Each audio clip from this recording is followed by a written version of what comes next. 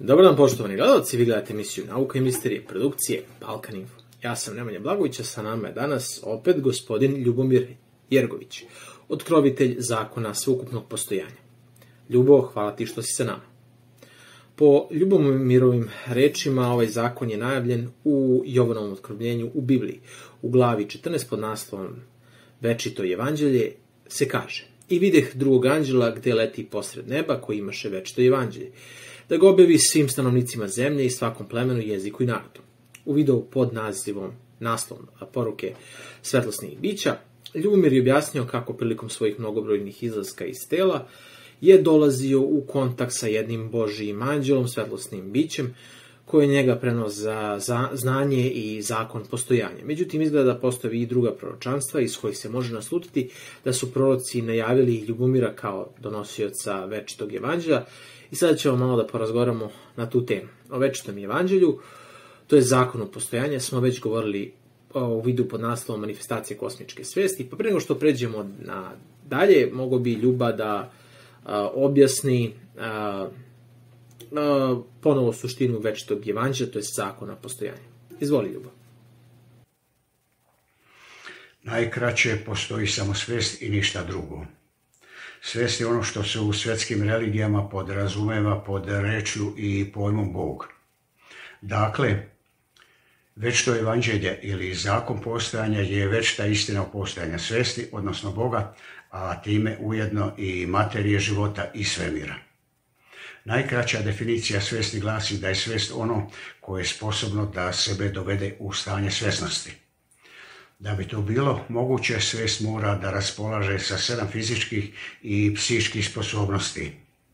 Pet psihičkih sposobnosti, opažanje, osjećanje, pamćenje, mišljenje i razumevanje su joj potrebne da pomoć njih može da stekne znanja u sebi i tako postane svesna sebe a dve fizičke sposobnosti, naprezanje i kretanje, s obzirom da svijest nije materijalna, su joj potrebne da pomoć njih može da poprimi fizička svojstva sile i mase i tako postane materijalna, da bi tako mogla da opaža, osjeća, pamti, misli i razume sebe i tako postane svjesna sebe. Fizičari i biolozi danas, danas tvrde da postoji samo energija i informacija. Energija se uvijek manifestuje kao fizička radnja naprezanja i kretanja, a informacija kao psihička radnja opažanja, osjećanja, pamćenja, mišljenja i razumevanja tog naprezanja i kretanja i to je zapravo naučni dokaz da samo svest postoji, jer tih sedam fizičkih i psihičkih radnji ne mogu postojati same po sebi bez završioca. A to je uvijek e, svest koja je nedeljiva od svojih radnji i koja je njihova unutarnja suština. Što podrazumeva da su svest, to jest Bog, materijalni svemir i život u njemu jedno isto. Već postoji e, filozofski pravac panteizam koji stoji na stanovištu da su Bog i svemir jedno isto. Hrišćanstvo i hinduizam govore da je Bog trojedan. Što to znači? Da li je svest trojedna i šta to podrazumeva? To podrazumeva da se sve s prilikom naprezanja, kretanja, materializovanja i evoluiranja umara, pa već to uvijek iznova mora da se zaustavlja i odmara. To je razlog što već to mora da se pretače kroz svoja tri prirodna oblika i stanja. Jedno od tih stanja je mirovanje i odmaranje. To je nematerijalno stanje svijesti u fizici poznato pod imenom kvantni vakum. Drugo stanje počinje kad se svijest odmori, a zatim se napregne i pokrene i tako postane materijalna. U fizici taj trenutak prelaska svijesti iz nematerijalnog u materijalno stanje fizičari su opisali rečima veliki prasak ili Big Bang. Nakon čega počinje evolucija svijesti, to je njeno samo preobražavanje u materiji život i svemir. Ovo drugo stanje svijesti u fizici je poznato pod imenom sintropija, Treće stanje svijesti počinje kad se svemir i život u njemu razviju do kraja. Kada je samopokretačka snaga e, svijesti već e, dobrim dijelom potrašena i kada svemir počinje pomalo da se opušta, stari i na kraju se ponovo vraća u svoje prvobitno stanje mirovanja i odmaranja. Ovo treće stanje svijesti u fizici je poznato pod imenom entropija. Na kraju, dakle, ostaje samo kvantni vakum, to je polje nematerijalne svijesti sa informacijom o sebi, to jest o materiji, životu i svemiru, pomoću kojega će, kada se odmori, ponovo od sebe same da sagradi isti takav svemir kakav je i prebio. Ovo pretakanje svijesti kroz njena tri prirodna oblika i stanja je večito. Početka i kraja nema. I sve iz čega se svemir sastoji, također se večito reinkarnira, to jest pretače se kroz tvoja tri prirodna oblika i stanja. Najbolji primjer je jaje pile koka kao mini model svemira pomoću kojega možemo saznati sve o svemiru i u primjeru svemira i koke ničeg drugog nema do samo živa i svesna energija i informacija o svemiru, odnosno koki, pomoću koje se energija i u primjeru svemira i koke već to pretače kroz svoja tri prirodna oblika i stanja. Tako isto i naša pluća dišu, uzdah, izdah pa mala pauza, tako isto i naše srce kuca, tako isto se i naš želudac uvijek iznova puni i prazni, tako uvijek e, e, svako jutro ustajemo iz kreveta, idemo i radimo, a na ležemo ponovo u krevet, tako se uvijek iznova rađamo i umiremo i tako dalje. Ljubo, s obzirom da zakon postojanja u Bibliji, u Jovanom otkrovljenju, kako ti tvrdiš, je najavljen pod imenom Večito evanđelje, da li je možda sveti Jovan baš tebe najavio kao donosioca tog, tog znanja? U otkrivenju Sveti Jovan je najavio i dolazak jednog čoveka po čijem imenu i delovanju bi se moglo nasuditi da bi upravo donosilac tog zakona, to jest već tog evanđelja, mogao da budem ja. Za njega Sveti Jovan je rekao da će da bude verni i istiniti i da će se njegovo ime zvati reč Božja. Ali tvoje ime je Ljubomir, šta to znači? Ime Ljubomir je složenca od dve reči ljubav i mir. Nije mu poznato da postoje neke druge, još božanske istinitije reči od reči ljubav i mir. Niti mi je poznato da, je, da bi neko drugi mogao da bude opisan rečima verni istiniti, do onaj ko propagira ljubav i mir kao večitu istinu, koju sam do kraja objasnio kao večiti Boži zakon, po kojem je ceo mi sagrađen. Sad i on je za, za večito kaže da treba da se najavi svim narodima, plemenima, jezicima na zemlji. Da se objavi. A kasnije govori o narodu sastavljenom od svih naroda, plemena i jezika koji prati tog čovjeka. Pojasni nam to, molim te. Na zemlji ne postoji bilo koje drugo učenje, sem zakona postojanja, koje argumentovanije i razumljivije objašnjava suštinu Božijeg zakona po kojem je sagrađen svemir, izrečenog uz pomoć samo dve reči ljubav i mir. Taj čovjek, čije ime će po Jovanu da se zove reč Božja, to jest ljubav i mir, se izgleda pojavio i to bi mogao da budem ja. Tu je i već to evanđelje, koje u sebi sadrži dokaz da su ljubav i mir Boži zakon.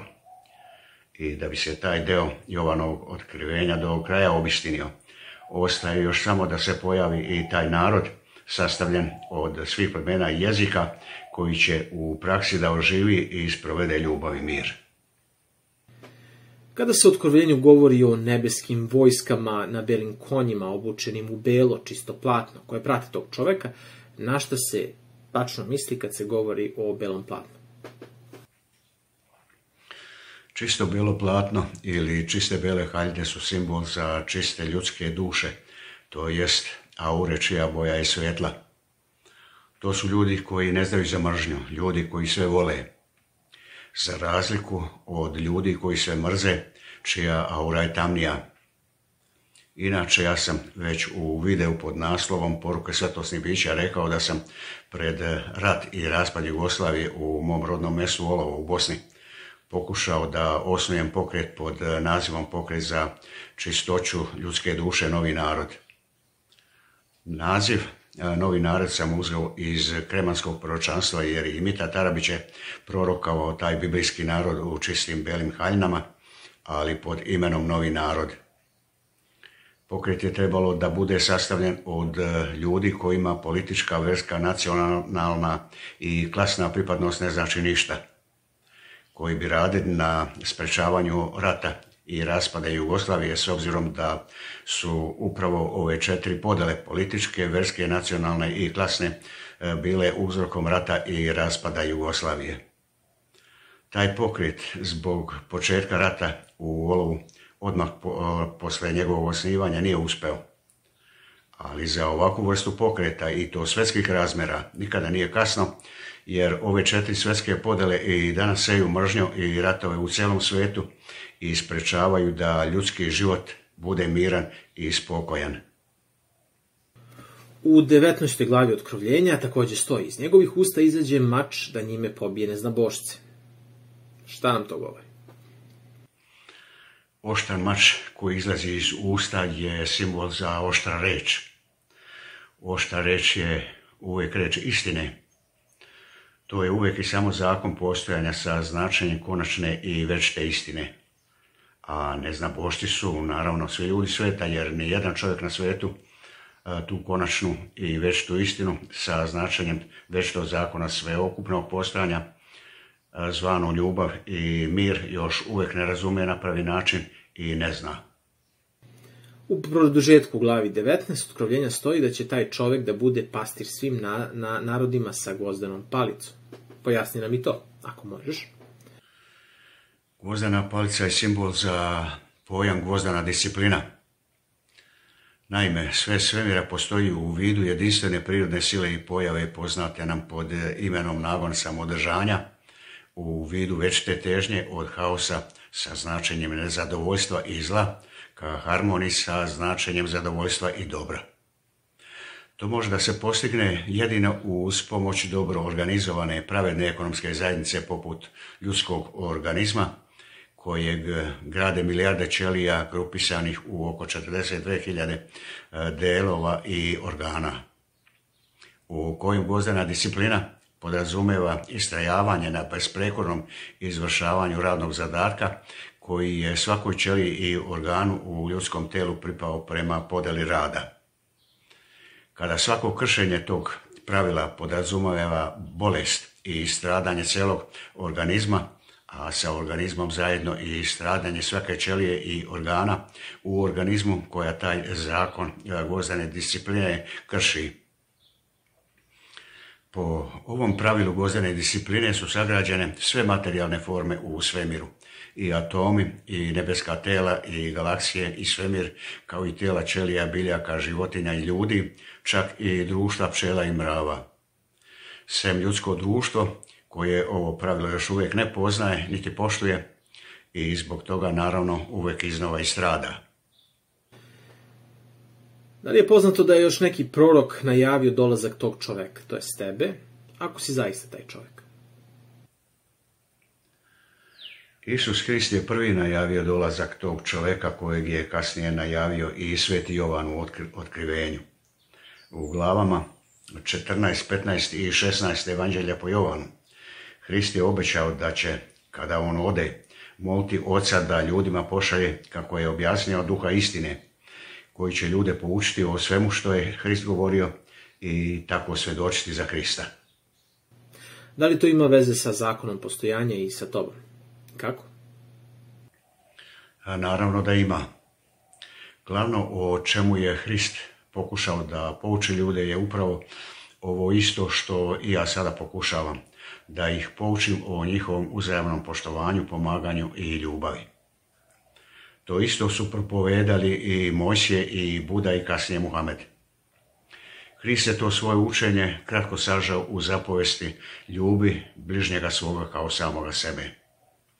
Ovu Hristovu zapovest ni hrišćani, ni ostatak sveta, čak ni do dana današnjega, nisu na pravi način ni razumeli, ni u stvarnosti oživjeli, jer je toj Hristovoj zapovesti nedostajalo objašnjenje i odgovor na pitanje zašto treba ljubiti bližnjega svoga kao samoga sebe koji glasi da ljubav prema bližnjemu nije nužno gajiti zbog koristi bližnjega svoga, već zbog vlastite koristi. I ja sada želim da objasnim kakvu korist će ljudi kao pojedinci da ostvare kad počnu da vole jedni druge kao što vole sami sebe. Da li će to tvoje objašnjenje da ima značenja, što se kaže, svedočenja za Hrista? Sa objašnjenjem da treba ljubiti bližnjega zbog vlastite koristi, a ne koristi bližnjega, ta Hristova zapovest će poprimiti svoj puni i konačni smisao i značenje. To da svako gleda samo svoju korist je u skladu i sa zakonom postojanja po kojem da bi nešto moglo da postoji, a to je uvijek i samo svijest mora da postoji samo po sebi kao svoj razlog, uzrok, svrha i posljedica. Po ovom zakonu, dakle, sve što postoji, postoji samo po sebi, zbog samoga sebe, a to znači zbog svoje vlastite koristi, a ne bilo čije tuđe. Ako sve postoji po sebi i zbog seba, ne drugoga, zašto je onda nužno voliti drugoga isto kao i sebe? Zato što niko i ništa ne može postojati samo po sebi bez pomoći drugog. Sve što postoji za sebe u sebi je svijest, to jest subjekt, a sve što se nalazi izvan njega u vidu nečeg drugog je objekt. Subjekt, to jest svijest, bez objekta ne može da postoji. Bez objekta svijest ne bi imala šta da opaža, osjeća, pamti, misli i razume. Dakle, bez objekta svijest ne bi mogla da dovede sebe u stanje svjesnosti i bude to što jeste svijest. A kad ne bi mogla da bude svijest, tada je ne bi ni bilo. Što važi i za sve moguće objekte od kojih se svemir sastoji, jer svaki objekt u svemiru za sebe i u sebi je subjekt, to jest svijest. Pa je zbog toga razumljivo da svi objekti u svemiru, koji su istovremeno i subjekti, da bi opstali zbog sebe samih, zbog svoje vlastite koristi, moraju da žive u ljubavi i harmoniji i uzajamno se pomažu, a ne u haosu u kojem će uzajamno da se mrze i odmažu. Ugrožavajući e, druge, ugrožavaju sebe, a voleći i pazeći druge, vole paze sami sebe, jer jedni bez drugih ne mogu. Možeš li nam navesti neki primjer? Primjera je bezbroj. Svaka materijalna forma u svemiru, i atom, i nebesko telo, i galaksija, i svemir, i telo ćelije, biljke, životinje ili čovjeka, i tako dalje, može da posluži kao primjer. U ljudskom organizmu, na primjer, nijedna ćelija ili organ ne može opstati bez cijelog tela, to jest bez svih drugih ćelija i organa u telu.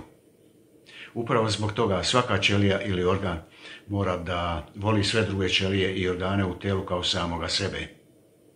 Ne zbog drugih delova i organa ili zbog tela kao celine, već upravo zbog sebe. Svima je jedinstvo, mir, uzajamno pomaganje, ljubav na korist, jer to za sve ima značenje harmonije i dobra, a podela, konkurencija, mržnja, borba i nepravda gdje svi stradaju je svima na štetu, jer to ima značenje haosa i zla. Unutar svih materijalnih formi u svemiru vlada zakon harmonije i dobra sem u ljudskom društvu koje se još uvijek razvija, koje taj zakon još uvijek ne poznaje i ne sledi, u kojem još uvijek vlada zakon podele, konkurencije, mržnje, borbe, haosa i zla. Što je glavni razlog što ljudi taj univerzalni zakon harmonije i dobra još uvijek ne poznaju i ne poštuju? Razlog je banalan. To je čovjekov večiti problem što mora da radi da bi živeo i živi da bi radio. Rad je čovjekova golema muka, jer rad umara čovjeka, a umor je nešto što se osjeća kao nezadovoljstvo i zlo, koje nije svrha ni cilj života, već zadovoljstvo i dobro.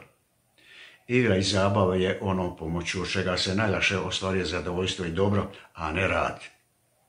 Pa zbog toga e, svi žele da rad izbegnu, jedan od e, načina da se izbjegne rad karakterističan za nisko razvijenu svest jeste da se pronađe način kako da čovjek postane gospodar, a svi drugi, njegove sluge i robovi, kako on više ne bi morao da radi, već samo da se zabavlja i igra. Međutim, problem je što niko ne želi da bude rob i sluga koji mora da radi za sebe i za gospodara, već gospodar za kojega svi rade, a on samo uživa. Posljedica takve težnje je podela, konkurencija, mržnja i borba svakoga sa svakim, a to je nešto što uzrekuje veće nezadovoljstvo i zlo nego što je i sam rad.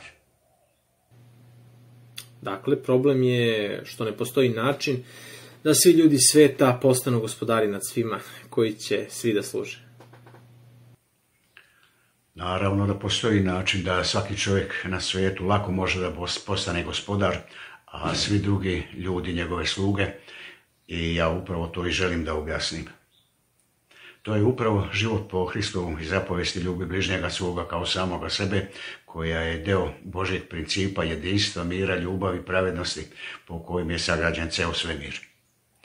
To je prirodni i najbolji način kako svaki pojedinac u društvu lako može da postane gospodar cijelog društva kojemu će svi da služe, a on samo uživa. I to dobro da mu služe i sa zadovoljstvom, e, bez ikakve prisile i da im to bude još na korist, a ne na štetu. To nije moguće? Moguće je. Pogledajmo kako su to stvarili ćelije i organi unutar ljudskog tela. Sve po principu jedinstva, mira, reda, ljubavi i pravednosti, odnosno po principu ljubi bližnjega svoga kao samoga sebe. Svaka ćelija i organ unutar ljudskog tela je gospodar cijelog tela, a sve ostale ćelije i organi su sluge. Uzmimo za primjer noge u ljudskom telu. Mozak za njih misli gdje treba da idu, oči gledaju, ruke za njih rade, pluća dišu, želudac za njih vari hranu, srce im tu hranu dostavlja i servira i tako dalje. Ako uzmemo bilo koji organ u telu, mozak, oči, ruke, pluća, srce, želudac i tako dalje, isto je. Svaki od ovih organa je gospodar celog tela, a svi drugi mu služe. I to je što je najbitnije, niko se zbog toga ne buni. Svi zadovoljni i veseli sve na dobrovoljnoj bazi, bez ikakve prisile. Nema tu nikakvih političkih, verskih, nacionalnih i klasnih podela mržnji i ratova pomoću kojih bi bilo ko prisiljavao nekoga na robovanje i služenje. Jedina podela koja tu postoji je pravedna podela rada i rezultata rada i ništa drugo. Ali činjenica da u pravednoj podeli rada i rezultata rada nije sve gospodarenje, već i služenje. Tako? To je tačno, ali je razlika kad na niskom nivou svijesti svako želi organizovano ratom silom da natera druge da budu sluge i robovi, ili kad na visoko razvijenom nivou svijesti umjesto prisile svaki pojedinac dobrovoljno i sa ljubavlju pristaje svima da služi.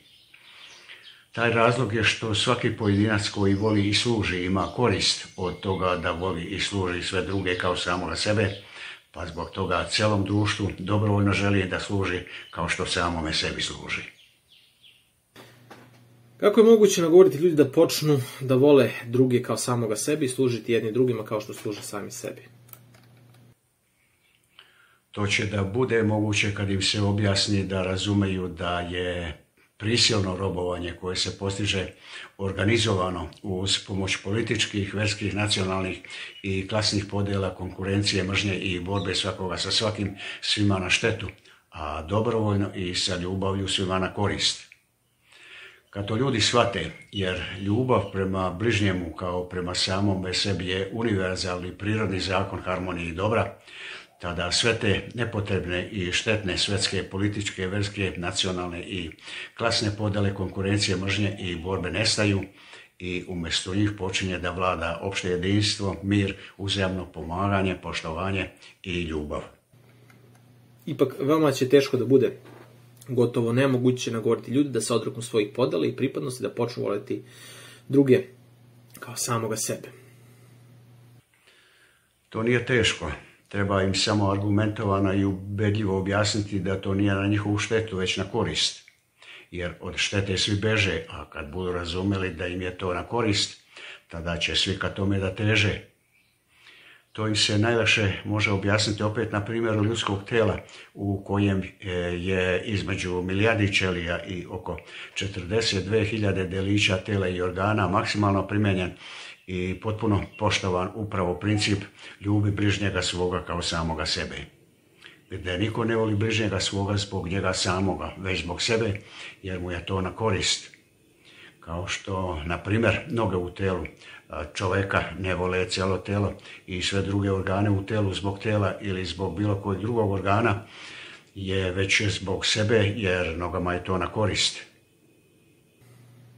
Od kakve koristi? Nogama je cijelo telo od koristi i zato noge cijelog života nose telo na sebi jer bez tela noge same ne bi mogle da opstanu.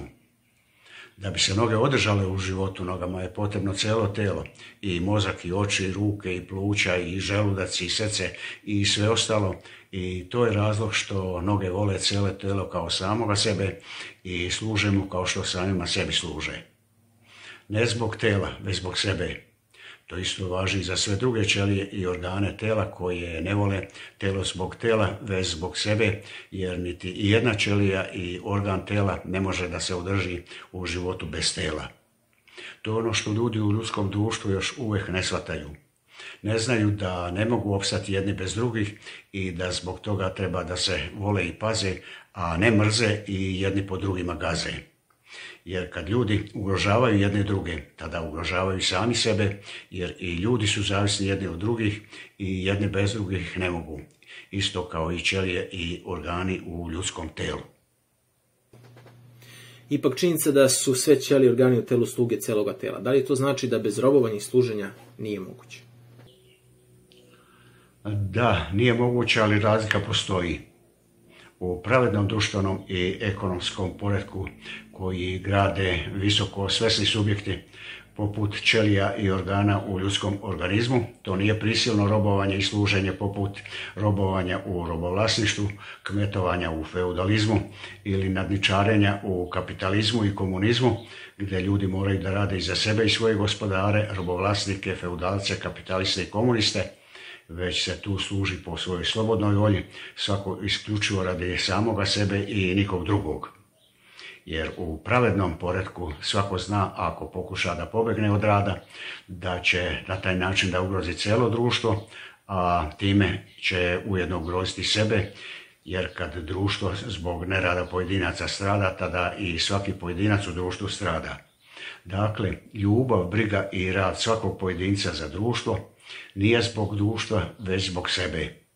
To je ono što ljudi u ljudskom društvu još uvijek nisu shvatili i ne znaju.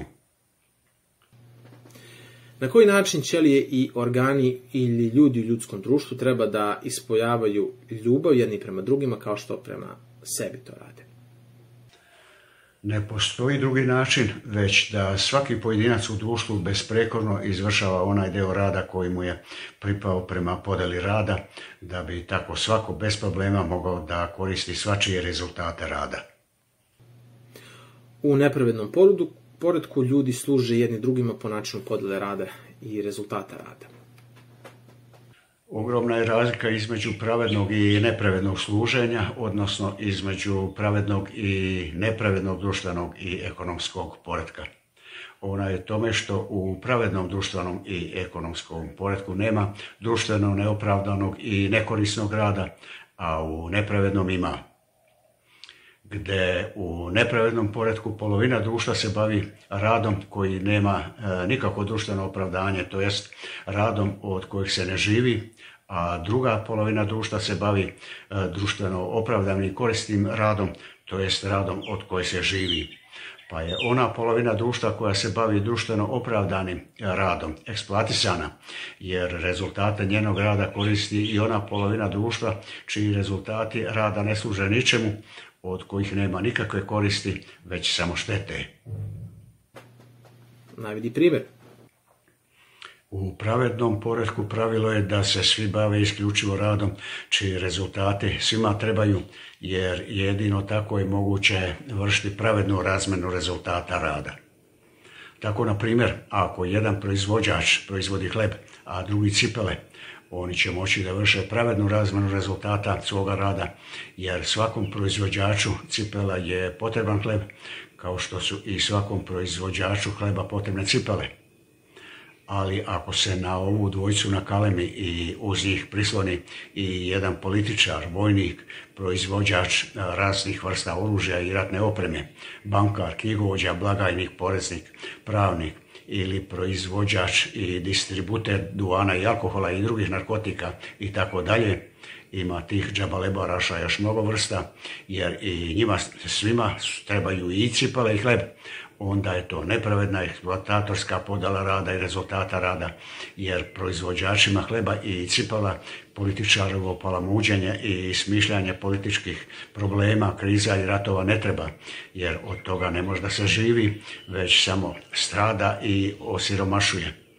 Niti mu trebaju rezultati rada proizvođača oružja, ratne opreme, vojnika i generala koji proizvođače hleba i cipela ubijaju, niti im trebaju bankari, knjigovođe i blagajnici, poreznici ili pravnici, od čijih rezultata rada ne može da se živi, niti im trebaju proizvođači, e, distributeri e, po zdravlje štetnog duvana, alkohola i raznih narkotika od kojih se oboljeva i prerano umire. I još mnogo toga ima što im ne treba, što znači da u nepravednom društvenom i ekonomskom, ekonomskom poredku baš i nije uvijek moguće i po svaku cenu voliti bližnjega svoga kao samoga sebe. Znači, eksploatacije nema samo u pravednom društvenom i ekonomskom poredku gdje postoji samo društveno opravdani koristan rad i samo u takvom poredku je moguće voliti bližnjega kao samoga sebe. Tako je. U ljudskom organizmu, na primjer, viška ili manjka delova nema. Svi delovi i organi rade samo ono što je i svim drugim delovima organima e, potrebno i to je ono što se podrazumeva pod pojmom pravedna podjela rada i rezultata rada. To svakom delu i organu u telo omogućuje da za svoju količinu uloženog rada ima pravo i može da koristi istu količinu tuđih rezultata rada i tu ni jedan pojedinac nije oštećen, ni eksploatisan, čak i kad e, rezultate njegovog rada koriste i cijelo društvo. Jer i on koristi rezultate rada cijelog društva, bez kojih ne bi mogao da opstane, pa zbog toga voli cijelo društvo kao samoga sebe. Veoma je nehumano, to jest neljudski, izbjegavati društveno opravdani koristan rad ili raditi nešto što drugima ne treba ili im šteti, a živjeti od tuđeg rada ili se još i bogatiti sem ako je čovjek dete, starac ili ako je bolestan ili nesposoban za rad. Zato je Hristi rekao da će pre kamela proći kroz iglene uši nego bogotaš u raj. Jer svojim radom se niko ne može obogatiti, već samo prevarom društva, ratom, pljačkom i nasiljem. Što važi i za sve one koji se bave društveno neopravdanim i nekorisnim radom. Što znači kad kažemo da je čovjek društveno biće? To znači da čovjek nije samo čovjek, već je on istovremeno i čovečanstvo. Isto kao što i svaka ćelija u ljudskom telu nije samo ćelija, već je ona i čovjek. Kad dodirnemo bilo koju ćeliju u ljudskom telu, mi smo zapravo dodirnuli čovjeka. Kad dodirnemo i najsitnije zrce peska u postinji, mi smo zapravo dodirnuli planetu Zemlju. Kad dodirnemo bilo kojeg čovjeka, mi tako uvijek dodirnemo i cijelo čovječanstvo. Isto tako kad ugrozimo bilo koju ćeliju u ljudskom organizmu, mi smo zapravo ugrozili čovjeka. A kad ugrozimo bilo kojeg čovjeka na zemlji, mi smo zapravo ugrozili cijelo čovječanstvo, a sa čovječanstvom zajedno i sebe, jer bez čovječanstva ni jedan čovjek ne bi mogao da ostane. Upravo onako kako je to Muhammed lijepo rekao onaj ko ubije makar jednog čovjeka, isto kao taj da je poubijao ceo svijet. U tome jeste suština Hristove zapovesti ljubi bližnjega svoga kao samoga sebe.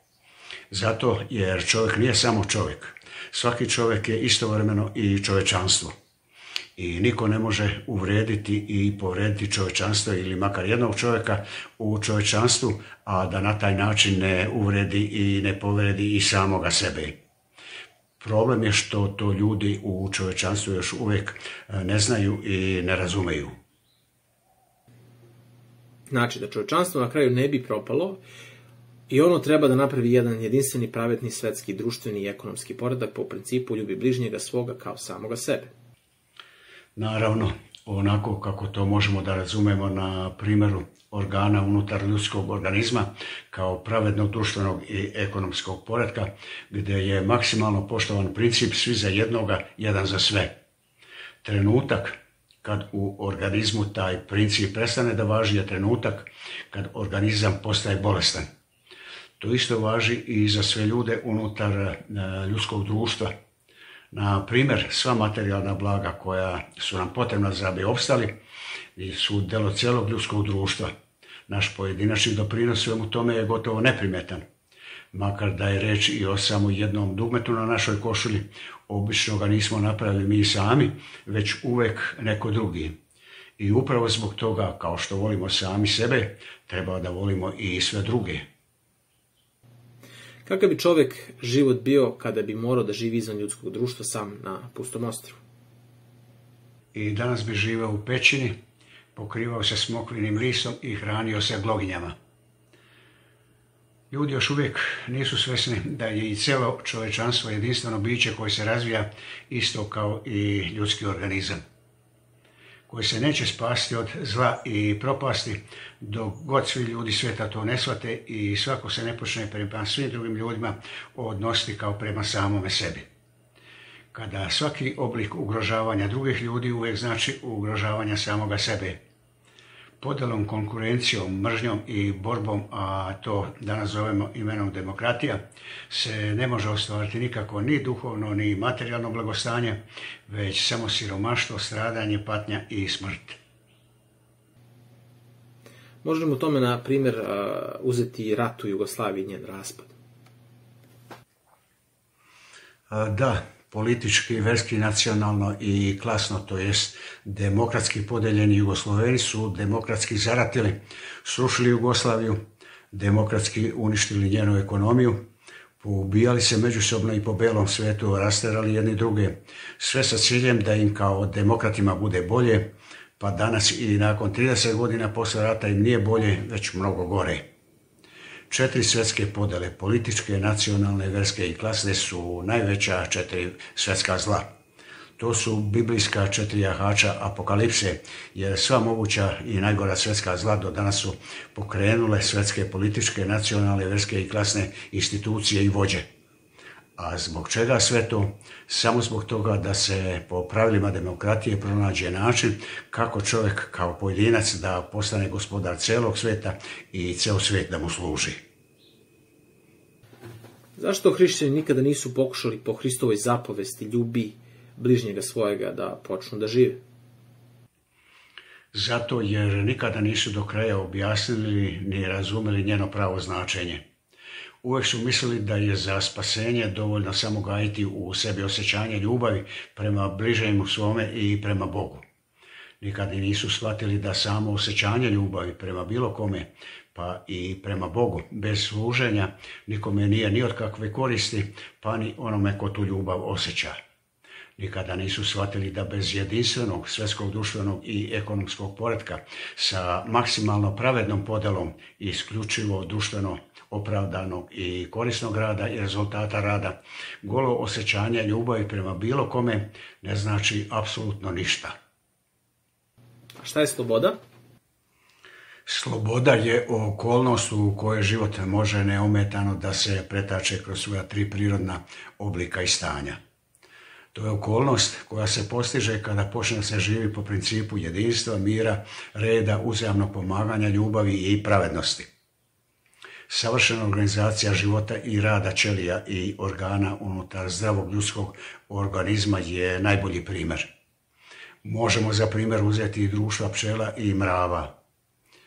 Sve materijalne forme od kojih se svemir sastoji su po tom principu sagrađene, sem ljudsko društvo koje je živeći po principima demokratije, to jest principu podale konkurencije, mržnje i borbe se uvek iznova gradi, raspada i strada.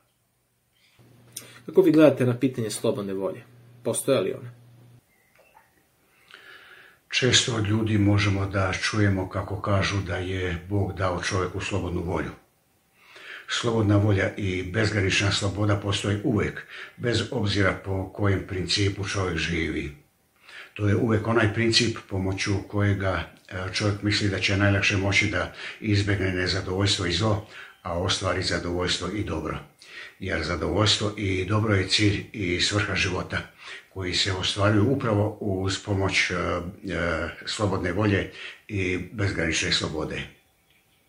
To podrazumeva, ako znamo da se zadovoljstvo i dobro i najlakše ostvaruju uz pomoć podele, konkurencije, mržnje, borbe i nepravednosti, mi ćemo po svojoj slobodnoj volji i bezgraničnoj slobodi tako i da mislimo i želimo i radimo.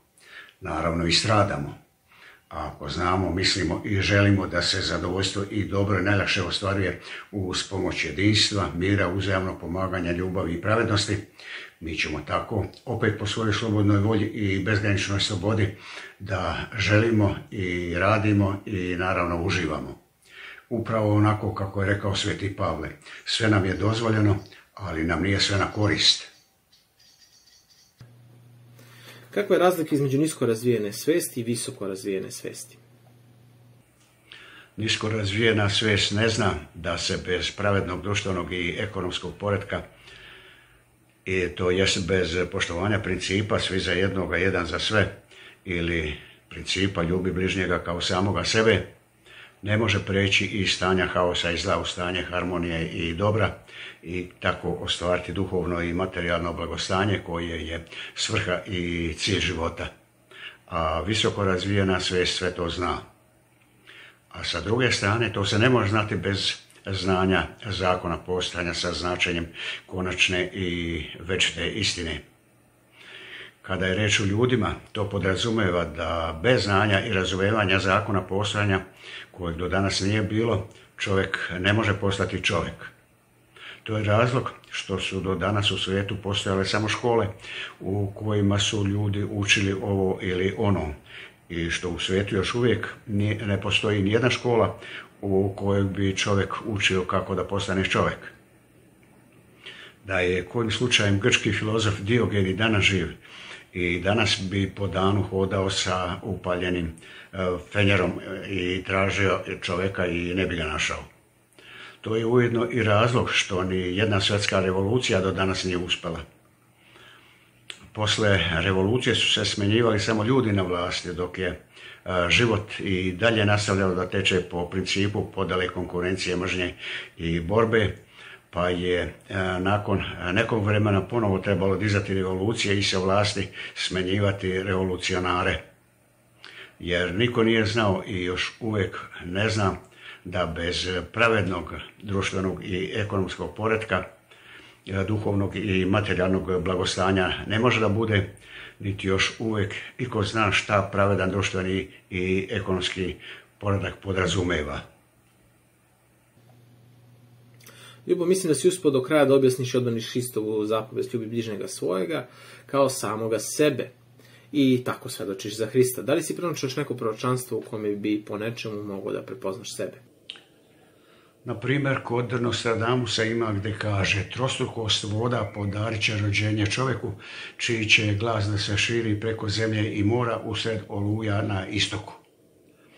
Ja sam rođen u Olovu u Bosni, stotinak metara od sastavaka Rečica, Stupčanice i Biošice koji dalje nastavljaju da teku kao treća reka Krivaja.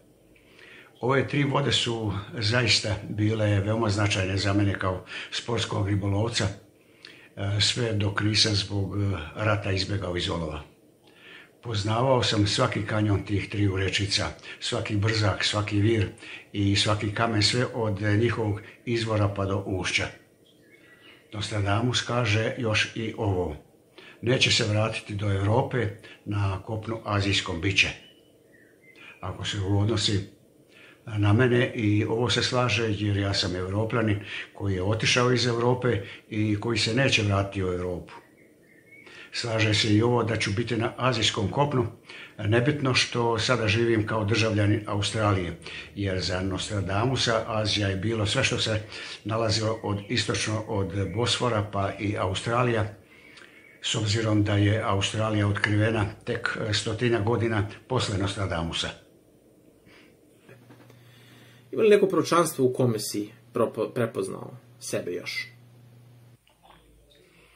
U kremanskom proročanstvu Mitar Tarabić kaže Posle ovoga rata, misli na treći svjetski rat, na prijestolje svijeta doći će jedan plemeniti i dobrodušni riđi čovjek. Blago onome ko to doživi, jer će taj riđokosi svim ljudima donijeti sreću. Da li će treći svjetski rat da se desi pre nego ja umrem i da li ću doživjeti, ne ja da vladam svijetom, to mi ne treba, već da li će svijetom početi da vlada e, Hristov princip ljubi bližnjega svoga kao samoga sebe, objašnjen kao zakon postojanja.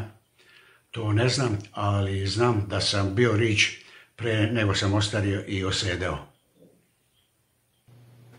Ako se treći svjetski rat desi i ti preživiš, da li ćeš postati vladar celog sveta, kao što se to kaže? To je isključeno jer od trenutka kad se bude uspostavio jedinstveni svjetski pravedni društveni i ekonomski poredak, svetom više neće da vladaju ljudi, diktatori kao pojedinci, po svojoj slobodnoj volji kao do sada, već Boži i Hristov zakon jedinstva, mira, reda, ljubavi i pravednosti sa značenjem zakona sveukupnog postojanja koji sam otkrio, koji će svi ljudi svijeta znati, razumeti i sami se po njemu u životu upravljati. Nikakvih vladara svijeta neće da bude, pogotovo što e, ljudi neće da budu organizovani ni politički, ni verski, ni nacionalno, ni klasno, već samo ekonomski na bazi pravedne podjele rada i rezultata rada. Takva vrsta organizacije života i rada ne zahtjeva nikakva, nikakve ni političke, ni verske, ni nacionalne, ni klasne vođe. Ona će da se odvija preko jedinstvenog svetskog statističkog računskog centra, slično mozgu u ljudskom organizmu gdje će da budu zaposleni isključivo stručnjaci za organizaciju života i rada, to jest ekonomisti. Sve uz pomoć naše kolektivne svijesti u otkrivenju nazvane imenom jagnje, koja će da se sjedini sa čovečanstvom kad se uspostavi trajni svjetski mir i pravedan svjetski društveni i ekonomski poredak. Hoće li život ljudi tada biti, biti lakši? Biće neuporedivo lakši. Na primjer, do danas je prehrana svjetskog stanovništva bila najveći problem opstanka i stanovnici svijeta su najveći dio svog radnog i slobodnog vremena i brige posvećivali tome.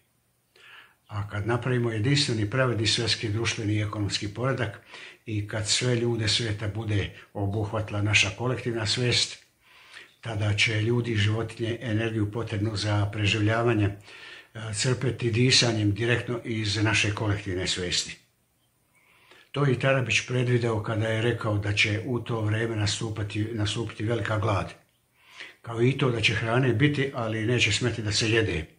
I da će preživjeti samo oni koji budu umeli da gladuju. O tome i u Bibliji stoji gdje se kaže da će tada lav i jagnje spavati u miru zajedno. Ili gdje se kaže da ptice nebeske niti seju niti žanju, a hrani njihov Otac Nebeski.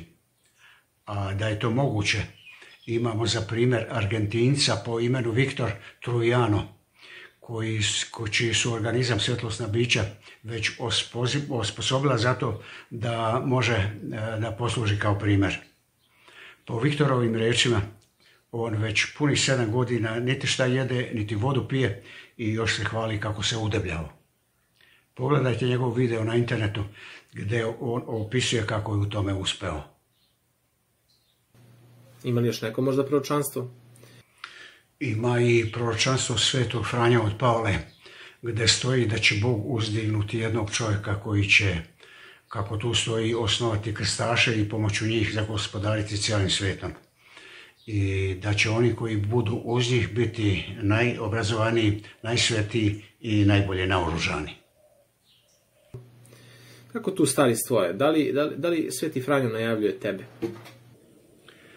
Ja sada samo želim da uz pomoć večitog evanđelja, to jest zakona postojanja, motivišem i pokrenem ljude na velike svjetske, društvene, ekonomske i moralne reforme. a da li ću u tome da uspijem, to ne znam. I ako se to ostvari, to jest ako ljudi na to pristanu, podrazumeva se, kao što je rekao Sveti Franjo, da će oni da budu najobrazovaniji, najsveti i najbolje naoružani. Jer najobrazovaniji je onaj ko zna istinu. Najsvetiji je onaj ko po istini živi i najbolje naoružan onaj ko u svojoj borbi kao oružje koristi istinu.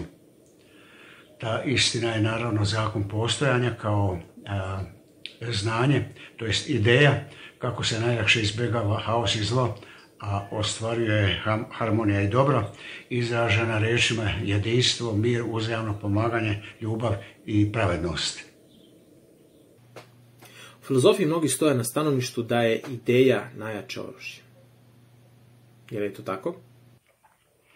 U temelju svih različitih stvari i pojava u svemiru stoje informacije, to jest ideje i sve od njih zavisi kako će materijalne forme u svemiru da izgledaju i kakvim kvalitetom života će svijest u njima da živi. I čovečanstvom su do danas vladale različite ideje koje su njihove pristalice koristile kao oružje da pomoći njih osvoje ceo svijet. Uzmemo za primjer robovlasništvo kao ideologiju, filozofiju i ideju, pa zatim feudalizam, kapitalizam, fašizam, socijalizam i komunizam – tu su i verske ideje, hrišćanstvo, islam, hinduizam, budizam, taoizam i tako dalje. Pristalice ni jedna od ovih ideja nisu uspjela da osvoje ceo svet. Zašto će sad biti možda drugačije? Zato jer niti jedna od ovih ideja e, nije svim ljudima sveta nudila ni garantovala ravnopravno zadovoljstvo i dobro koje je svrha i cilj života, već samo privilegovanim pojedincima i zato niti jedna od ovih ideja nije imala značenje konačne istine koju bi mogli da prihvate svi ljudi sveta. Sve do danas, do otkrića zakona postojanja sa značenjem nauke i konačne istine o vezi postojanja materije života i svemira, pomoću koje će oni koji je budu koristili kao oružje moći na kraju da osvoje ceo svijet jer jedino pomoću ove ideje će moći da se ostvari i duhovno i materijalno blagostanje za ceo svijet. Ima li još koje proročanstvo koje bi mogo da podariš sa nama? Ima i proročanstvo indijskog vodećeg astrologa Lahmana Dasmadana gdje stoji da će u periodu od marta 1991. godine do aprila 1992. godine veoma značajan verski vođa stupiti na scenu i da će on zadobiti jedinstveno poštovanje šireći poruku mira, napretka i ujedinjenja sveta. Ovo se već na neki način obistinilo, ako može da se računa da se tu radi o otkriću zakona postojanja i da sam pomoću njega u tom prorokovanom periodu 27. septembra 1991. godine u mom rodnom mestu ovo pokušao da osnujem Tarabićev novi narod ili biblijski narod u čistim belim haljinama. Tog dana je održana i osnivačka skupština pokreta koju je zabeležila i Sarajevska televizija a koji je ubrzo posle toga propao zbog početka rata u Olovu između muslimana i pravoslavaca. Da li ima možda još neko? Interesantno su. Ima još jedno proročanstvo koje sam pronašao u trećem oku dok sam boravio u izbjeglištu u Beogradu, čiji se koreni, kako tu stoji, gubi, gube u moru vremena. I ovaj prorok, kao i Mitar Tarabić, kaže da će taj čovjek da bude rič i da će među institucionalnim hrišćanima latinske konfesije da bude svačen kao antihrist, ali da će on zapravo da bude na Božjoj strani, zatim da će ukinuti republiku, valjda se misli na državu kao političku tvorevinu i sistem, i da će vratiti crku prvobitnom siromaštvu, te da će doneti stvarni mir na napačenu planetu. I još tu stoji da će da bude italijanske krvi. Zašto bi tradicionalni hrišćani mogli da tebe proglase za antihrista? Jednostavno ovo što govoriš nije deo crkvenog kanona, po nekima. Valjda zato što zakon postojanja e, kao već ta istina o trojednosti svesti ruši hrišćansku dogmu o Božjoj trojednosti pomoću koje su institucionalni hrišćani debelo profitirali tokom posljednjih 1600 godina od dana kada su je smislili i izglasali u Nikeji 400 godina poslije Hrista. Ali za tog čovjeka je rečeno da će da bude italijan, a ti nisi italijan. Nisam, ali bi tu možda moglo da mi se progleda kroz prste. Ako se uzme u obzir da je moja baka, očeva majka, Karolina, bila italijanka. Jako me volela. Imao sam jedan susret i razgovor s njom 20 godina posle njene smrti, prilikom jednog od mojih izlazaka iz tela. Pričao sam o tome u videu pod naslovom Poruke svetlosnih bića. Da li znaš nešto o Antihristu njegove tri šestice? Da li će on da se pojavi? Neće da se pojavi, nema potrebe jer njegovi pomagači na zemlji besprekorno izvršavaju sve njegove naredbe. U ostalom, Antihristov dolazak nijedan prorok nije najavio, čak ni svet Jovan u otkrivenju. Naime, u originalu otkrivenja uz ime onog čovjeka čije ime će, kako tu stoji da se zove riječ Božja, je stajalo i to da će njegov broj da bude 666.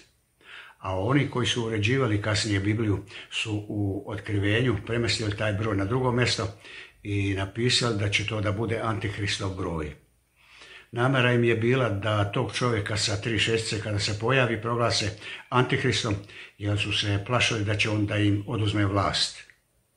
Nešto slično se desilo i prilikom Hristovog rođenja, kada je car Irod poubijao svu decu koje su se e, tada rodila sa namerom da ubije i Hrista, jer se plašio da će onda mu oduzme vlast. Pa su i hrišćani kasnije za svakoga ko im nije pogodovao tražili tri šestice da ga proglase antihristom. Pa su tako Muhameda, na primjer, proglasili antihristom jer su otkrili da Muhamedovo ime kad se napiše grčkim slovima koja imaju svoju brojnu vrednost da je zbir 666. Pre toga su i Nerona proglasili antihristom jer su izračunali da je u Neronovom imenu i tituli sadržan taj broj a kasnije su i Martina Lutera proglasili antihristom. Vjerojatno će tako i kod mene da e, traže tri šestice i proglase me antihristom zbog toga što im moje objašnjenje o e, trojednosti svesti ruši njihovu dogmu o božanskoj trojednosti. Kako znaš da u otkrovljenju broj 666 je premešten na neko drugo mesto i pripisan antihristu? Imam interesantnu priču o tome. Neposredno pre otkrića zakona posvojanja početkom 1980. godine gledao sam film o Antikristu i njegove tri šestice. Mislim da se zvao Armagedon. A onda ubrzo posle toga, kada sam otkrio zakon postojanja i shvatio istinu o trojednosti svesti, shvatio sam i to da ona ruši hrišćansku dogmu o božanskoj trojednosti i da bi zbog toga hrišćani mogli da me proglase antihristom. Međutim, nedostojala su mi tri šestice i pitao sam se gdje su. Da li si ti to pronašao? Pronašao sam. Naime, kada sam otkrio da svijest postoji tako što se već to pretače kroz svoja tri prirodna oblika i stanja, to mi je ličilo na semafor koji na raskrsnici uvijek iznova naizmečno pali svoja tri svetla žuto, crveno i zeleno, pa sam po tome i ja napravio simbol svesti u obliku tri manja kruga obojena žutom, crvenom i zelenom bojom, zaokružena jednim većim krugom. A kada su kasnije počeli moji izlazi iz tela i moji susreti sa mojim učiteljem svetlosnim bićem, jednoga dana sam pred spavanje u mislima ga zamolio da mi objasni gdje su tri šestice i u momentu kada sam počeo da tonem u san, pred očima mi se pojavio taj moj simbol svesti, samo što sada u toj mojoj viziji nisam vidio tri manja kruga unutar jednog većeg, već tri šestice ili devetke smotane u krug e, jednu iza druge. Tokom te moje vizije sam shvatio i to da je broj tri šestice u otkrivenju premešten sa svog pravog mesta. Ali si onda možda pokušao smisliš drugačiji, bolji simbol za svest? Nisam. Taj simbol je ostao takav sve do 1988. godine do otvaranja olimpijskih igara u Seulu na kojima je demonstriran gotovo isti takav znak u obliku tri šestice ili devetke, koji je u Koreji u taoizmu bio simbol jedinstva svemira, koji je na olimpijskim igrama na kojima se okupili najbolji sportisti sveta simbolisao jedinstvo svih ljudi sveta. I to je pravo značenje tog simbola.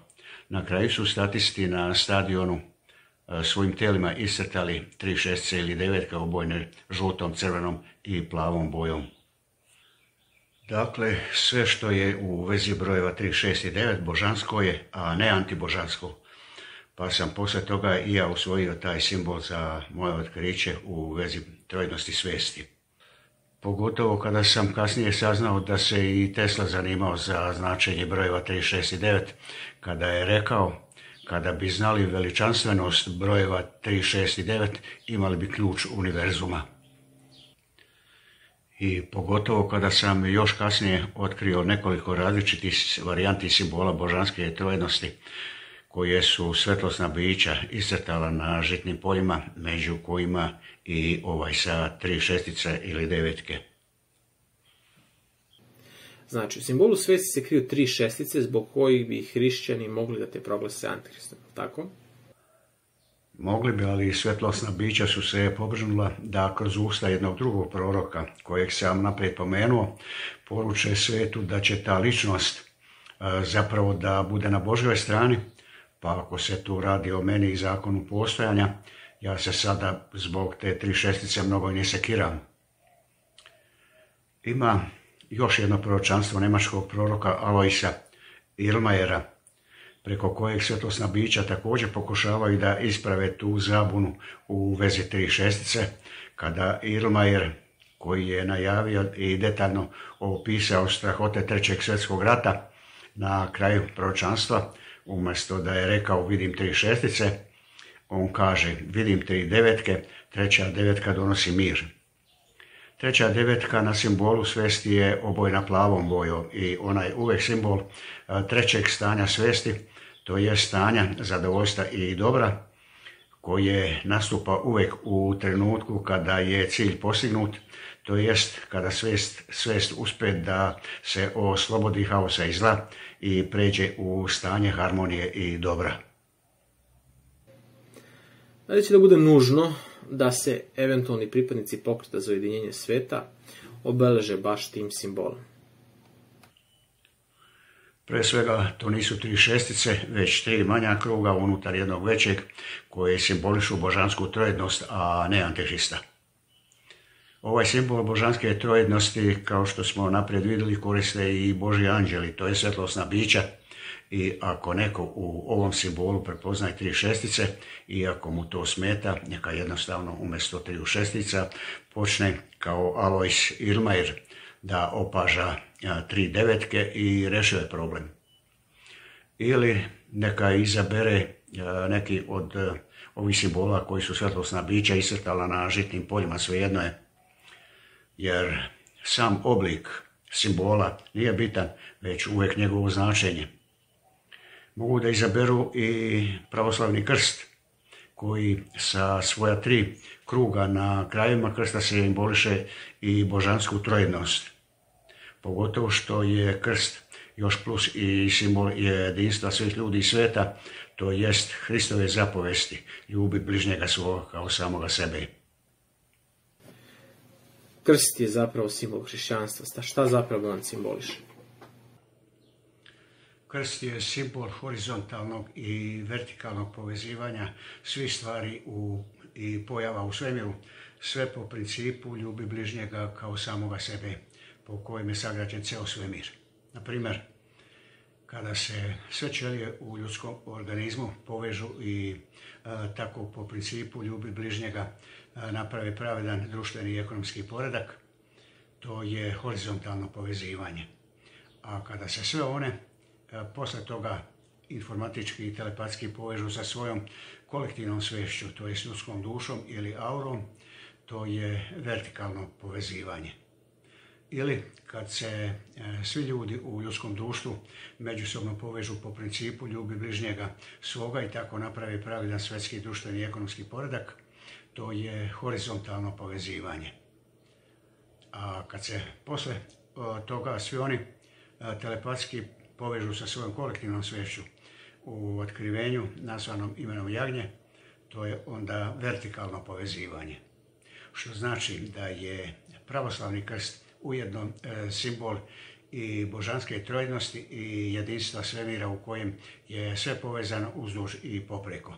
To jest i horizontalno i vertikalno. Ovako kako sam ja to prikazao sa ovom kratkom animacijom. Na početku materializacije elementarne čestice kao najmanja elektromagnetna svesna polja udružuju se i grade jezgro i telo atoma. One su obuhvaćene jednim širim i ređim elektromagnetnim poljem koje vrši ulogu duše atoma.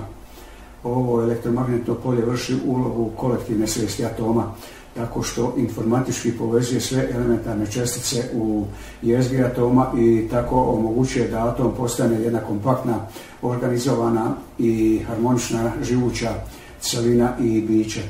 Zatim po istom principu i sa istim razlogom se i atomi udružuju i samoorganizuju unutar nebeskih tela uz pomoć jednog još šireg elektromagnetnog svesnog polja na koji način i nebeska tela postoje kao živa i svesna bića koja imaju svoje i telo i dušu. Isto se dešava i sa nebeskim tijelima unutar svake galaksije koja su sva obuhvaćena i prožeta jednim još širim i ređim galaktičkim svesnim elektromagnetnim poljem, što omogućuje da i galaksije budu živa i svesna bića. Da bi na kraju i sve galaksije bile obuhvaćene i prožete onom najširom svemirskom svešću, na koji način i svemir kao celina postaje živo i svesno biće koje ima svoje i telo i dušu. Ljubo, završili smo, nema više pitanja. Da li bi ti možda nešto još dodao za kraj? E, nemam. Mislim da sam e, rekao ono što je najbitnije. Hvala na pažnji. Hvala Ljubo, hvala i vama poštovani gledoci. Do sljedećeg puta, gospod Bog s nama i u nama.